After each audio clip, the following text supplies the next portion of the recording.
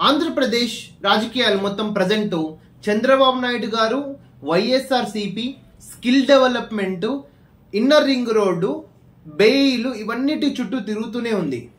Present అసలు ప్రస్తుతానికి చంద్రబాబు నాయుడు గారికి బెయిల్ రావాలంటే ఏం చేయాలి? సిఐడి హండ్రెడ్ పర్సెంట్ కౌంటర్ దాఖలు చేయాలి.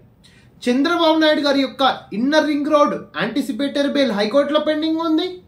ప్రజెంట్ స్కిల్ డెవలప్మెంట్ దాని మీద బెయిల్ పిటిషన్ పెండింగ్ ఉంది క్వాష్ పిటిషన్ కూడా పెండింగ్ ఉంది.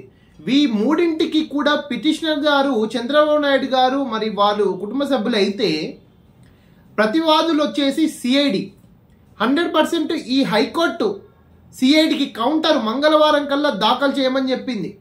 జనరల్గా ఇట్లాంటి సిచ్యువేషన్స్లో వీళ్ళిద్దరు రాజకీయ ప్రత్యర్థులు. సిఐడి ఎవరి హ్యాండ్ ఓవర్లో ఉంటుందండి? ప్రజెంటు ఉన్న గవర్నమెంట్ వైఎస్ఆర్సీపీ హ్యాండ్ ఓవర్లో ఉంటుంది. ఒకవేళ ఇంటెన్షనల్గా వైఎస్ఆర్సీపీ గవర్నమెంట్ చంద్రబాబు నాయుడుని ఇల్లీగల్గా అరెస్ట్ చేసింది అయితే వాదనలు ప్రతివాదనలు తప్పించుకోవడానికి సిఐడి కౌంటర్ లేట్ చేసినా చేయొచ్చు. ఒకవేళ వైఎస్ఆర్సీపీ హండ్రెడ్ పర్సెంట్ నిజాయితీగా విత్ ఎవిడెన్స్తో అరెస్ట్ చేసినట్టయితే ఈ రోజు కల్లా సిఐడి కౌంటర్ దాఖలు చేసి వాళ్ళ యొక్క నిజాయితీని ప్రూవ్ చేయాల్సిన అవసరం ఆవశ్యకత ఎంతగానో ఉంది.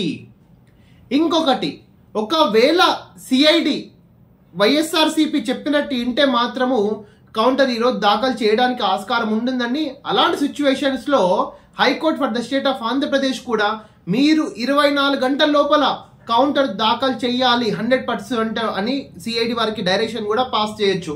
అలాంటి అవకాశాలు కూడా జరిగే అవకాశాలు ఉన్నాయి. ఎందుకంటే ఒక ఎక్స్ చీఫ్ మినిస్టర్ని అరెస్ట్ చే ఏ విధంగా అరెస్ట్ చేయాలి? ప్రజెంట్ చీఫ్ మినిస్టర్ ఇండియా ప్రజాస్వామ్యంలో ఎంతమందినో చూసాము కానీ ఇలాంటి అరెస్టు అంతర్జాతీయ మొత్తానికి ఒక యూనో షేక్ చేసే విధంగా ఉన్నాయి.